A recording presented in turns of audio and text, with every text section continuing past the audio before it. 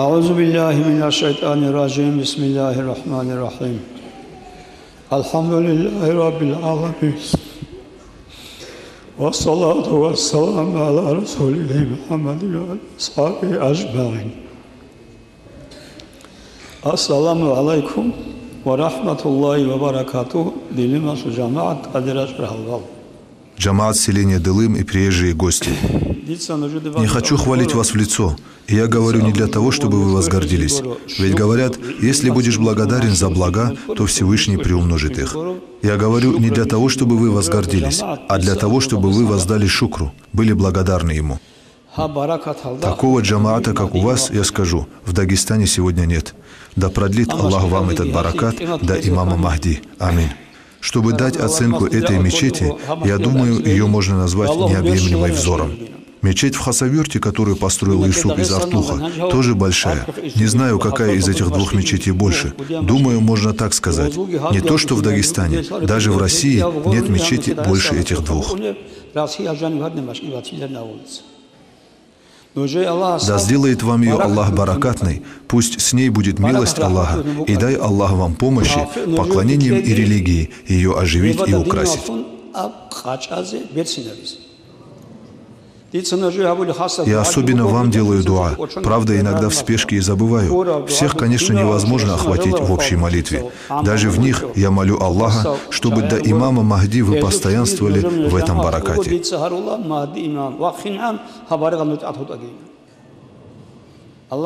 Пусть Всевышний оставит вас в таком состоянии. Теперь, это, конечно, не ново, в книгах тоже об этом написано, многое мы и слышали о строительстве мечети. В судный день, говорят, Аллах обращается к народу. «Вставайте, мои соседи». Все смотрят друг на друга и говорят, «О Господь, разве у Тебя могут быть соседи?» «Да, конечно, у меня тоже бывают соседи». И потом обращается к ним, «Вставайте те, кто строил мечети». Они встают.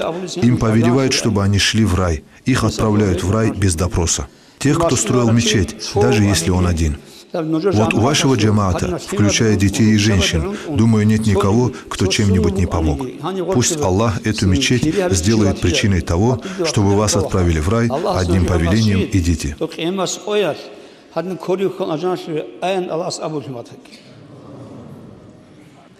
소액이 И еще, как мы знаем, в джамате люди бывают разных степеней и уровней. Все же не одинаковы. Так же, как и здесь, на этом свете, там тоже люди бывают разные, с разными достоинствами и макамами. Вот один джамаат подходит к мосту Сират. Это те, кто отправлен в рай. И когда они приблизятся к Сирату, их охватит страх. Дальше они идти не смогут, будут столпившись ждать. Тут придет ангел Джабраил, алейхиссалам, и скажет, «Чего вы ждете? Почему не переправляетесь?» Они ответят, «В Аллах мы боимся». Их спросят, «Когда вы были на земле, как вы плавали по морю?» «На кораблях», ответят те. Он отходит куда-то, а возвращаясь, тянет за собой мечеть, как мы тащим телегу. Вот, заходите сюда и переправляйтесь. Они забираются в мечеть и переходят через Сират. Дай Аллах, чтобы и ваш джамаат подобным образом перешел мост Сират. Теперь, хотя об этом было сказано, получается, что повторяюсь. Когда в 99 году бандиты со стороны Чечни напали на нас, Ваххабиты были разоблачены. То, что не является истиной, не останется неразоблаченным. Тем, что напали на нас, они сами себя разоблачили. Это нападение послужило причиной их самоуничтожения. Какую пользу они от этого получили, я тоже не знаю. Аллах своей милостью нас уберег. Сначала они дошли до Ансалты. Об этом рассказали многие люди, не один человек. То, что рассказывает множество людей, бывает истиной. Мне тоже говорили разные люди. Они дошли до Ансалты во время утреннего намаза. И, услышав там азан, призыв на молитву, араб, находившийся среди них, один он был или несколько, я не знаю, удивился – что это такое? Здесь же звучит азан. Куда вы меня привели? Их же позвали якобы на газоват против мушрикинов.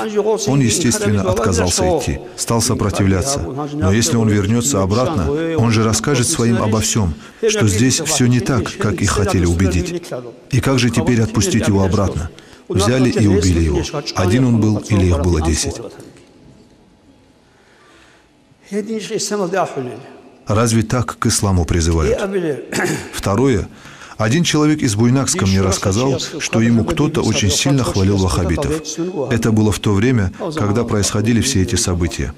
И тот, кто мне рассказывает, спросил того, «Брат, насколько ты хвалишь этих ваххабитов? Что же ты такого увидел в них?»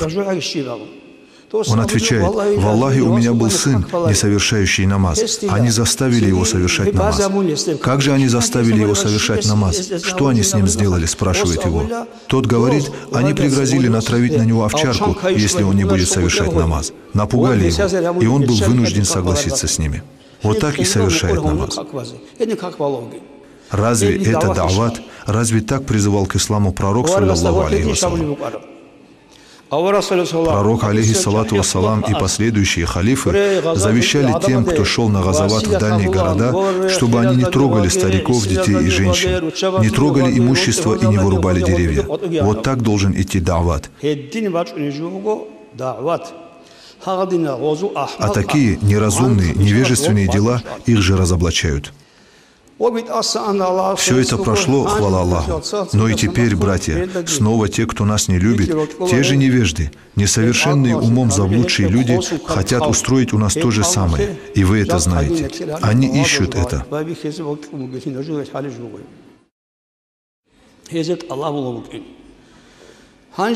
И что же в таком случае остается нам? Самый большой наш недостаток – это наше невежество, наше непонимание ислама.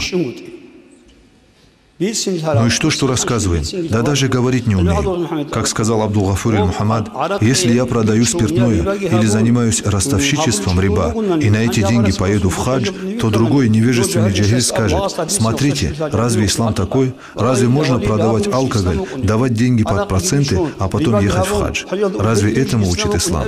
У него же есть повод так говорить. Это же истина. Точно так же и многое другое. Все беды по причине нашей же невежественности. Но тем не менее, что нам сегодня необходимо в первую очередь? Признаться честно, сегодня в Дагестане очень опасное положение. Это вы тоже знаете. Все опираются на силу, деньги или на что-то еще. Но знайте, хозяин всего – Аллах. И без его решения на земле ничего не произойдет. И все же многое зависит и от нас. Аллах посылает на нас беды только после того, как мы начинаем грешить, становимся хуже и не принимается наше покаяние. Нам, дагестанцам, нужны две вещи. Во-первых, таубу, истинное покаяние. Во-вторых, сабру, терпение – Аллах призывает нас к терпению, испытывает нас, проверяет наше терпение, проводит экзамен. Таубу надо делать как положено, от чистого сердца. Кто пьет, развратничает, в том числе и женщины, все должны покаяться истинным покаянием. Ведь Всевышний говорит, Таких аятов, призывающих нас к покаянию, в Коране много. Нас призывают «Вы кайтесь, а я приму покаяние». Есть ли большая милость, чем это? Дай Аллах нам помощи, чтобы покаяться, и дай Аллах нам терпение.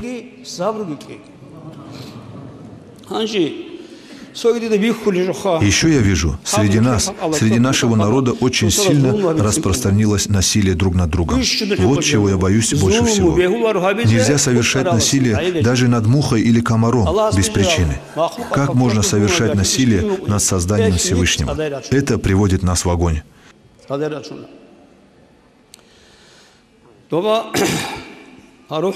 По-моему, в книге «Рухуль Баян» я читал, что один иудей, совершая путешествие, тянул за собой Ишака, а на Ишаке сидела его жена. Ишак этот, естественно, был откормленный, сильный, но как в наше время заботиться об автомобилях, ведь это же его транспорт. И шел он через какое-то селение мусульман. Вы, наверное, тоже читали об этом. Не знаю, кто это сделал, то ли дети, то ли какие-то негодяи. Так вот, они взяли и отрезали Ишаку хвост. Естественно, осел этого не стерпел и начал прыгать и скакать. Жена Иудея упала с осла, и он растоптал ее. Она к тому же была беременна. Случился выкидыш, и ногу сломала в придачу. И что теперь делать ему, путнику, совершающему путешествие? Какая разница, кем он является, иудеем или кем угодно? Он человек, такой же, как и мы. Он приходит к местному кадию, судье, имаму, объясняет ему, вот что мне сделали. А тот кадий был подлый, не имеющий веры человек. Он поиздевался над ним и никакого решения по этому поводу не принял. Сказал, оставьте осла, пока не отрастет у него хвост, и женщину тоже оставьте. Так омерзительно он поступил. И что же этому человеку делать? Кому пойти? Он обращается к Создателю и просит его, «Я Аллах». Ведь он тоже знает Господа, пусть он иудей. Он сказал, «Я Аллах, ты видишь то насилие, что совершилось надо мной, без причины и вины. Накажи их, Господи». И тут же судья, который издевался над ним, превратился в камень. Так в книге написано. Поэтому незачем имена называть, но насилие между нами существует. Даже среди милиционеров рассказывают большая несправедливость. Так мы слышим. Это вообще недопустимо. Видите, что сегодня происходит? Что с ними делается? Аллах не терпит насилия. Пророк Муса, алейхиссалам, говорит Аллаху, просит его, «О Аллах, покажи мне, как ты устанавливаешь справедливость на земле». «Ты пойди к тому месту», — отвечает ему Аллах, указывая какое-то место. Видимо, это было каким-то селом. Там есть родник под деревом. Иди туда и наблюдай со стороны. И ты увидишь, что произойдет. Он пошел туда и стал ждать. Через некоторое время к роднику пришел маленький мальчик, выпил воды. В Аллах нет. Приходит туда всадник на коне, весь такой видный из себя, здоровый мужчина. Он слез с коня, выпил воды, в руках у него был мешок с тысячу дирхамов. Он поставил его рядом с собой, выпил воды, встал и ушел, позабыв мешок. Когда всадник отъехал подальше от этого места, он вспомнил о мешке и решил вернуться. И как только он отъехал, туда к роднику пришел один мальчик. Он нашел этот мешок, сразу же забрал его и ушел оттуда, выпив воды. Сразу после этого, как только он исчез из виду, к роднику пришел один слепой человек. Сидит он себе спокойно, воду пьет, умывается, и в это время тот самый всадник, вспомнивший о мешке, возвращается сюда к роднику. Он находит здесь этого слепого и говорит ему, «Верни мои деньги, которые я здесь оставил». «Что за деньги? Я ничего не находил здесь». «Как не находил? Куда они могли деться? Ведь кроме тебя сюда никто не приходил». А ребенок уже исчез из виду, он его не видел. «Я слепой человек, как я могу увидеть твои деньги? Как я могу их взять?» – отпирается тот. Ведь и в самом деле он их не брал. Тот всадник убивает этого человека и уходит. Он убил этого слепого человека. И тогда Муса, алейхиссалам, обратился к Господу. «О Аллах, объясни, в чем же дело? В чем мудрость? В чем же, Муса, может быть мудрость?» Тот самый всадник удержал тысячу дирхамов у отца этого мальчика. Отец его умер, а мальчик остался сиротой. А я вернул ему его же имущество, имущество отца, удержанное тем человеком. А кто же тот слепой?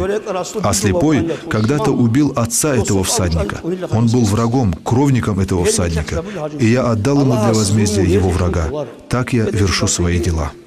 Аллах не оставляет насилие без возмездия. И поэтому дай Аллах помощи всем. Что еще вам рассказать, мои друзья? Других тем у меня не бывает. Ничего другого. Пусть Аллах сделает этот наступающий месяц Рамазан чистым от всяких войн и конфликтов. Да сделает Он его благодатным, прекрасным и милостивым. Дай Аллах провести его красиво, не лишаясь никого. Когда наш пророк, алейхиссалату вассалам, ушел из жизни, народ был в смятении. Все будто ума лишились, не зная, как перенести то, что случилось. Тогда Абу Бакр, да будет доволен им Аллах, встал и сказал, «Вы знаете это, но повторю, чтобы вы вспомнили. В вспоминании бывает обновление». Так вот, он встал и говорит, «Если кто из вас поклонялся Мухаммаду, то он умер. Нет его. А кто поклонялся Аллаху, то он жив».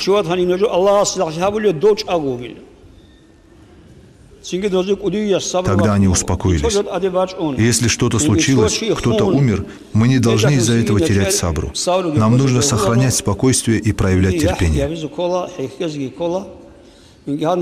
Наши ребята, которые стали шахидами, мы не должны о них жалеть. Мы можем только позавидовать им. Они являются шахидами. Единственная польза от этой жизни, проведи ты здесь тысячу лет или всего 25-30, в том, чтобы в предсмертный миг оказаться в вере, оказаться на истинном пути. Что еще желать тому, кто в последний момент жизни оказался в вере? Разве не должны мы завидовать тем, кто стал шахидом от рук этих разбойников? И поэтому, братья, истинный мусульманин, даже если все умрут, и останется он один, единственный мусульманин, он не даст этим ваххабитам слова, иншаллах. Сегодня Аллах помог, привел меня сюда. Огромное счастье для меня сегодня видеть вас и ваш маджлис. Я Аллах, это ваше подрастающее поколение пусть останется таким же, и да не уменьшится баракат до появления Махди. Аминь.